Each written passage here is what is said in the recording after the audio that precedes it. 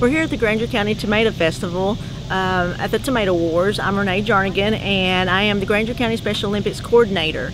The Tomato Wars goes to benefit the Special Olympics of Grainger County for the children and adults that are not otherwise able to participate in regular athletic events.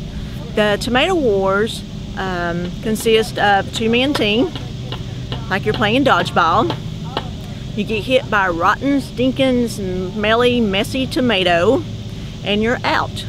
Then you advance to the next round when the last man is standing at your team. Charge them, guys, charge them, run them Go now, go, go, go, get him, go get him, go get him. Drew! He got him, he got him, he got him. Oh, you're out.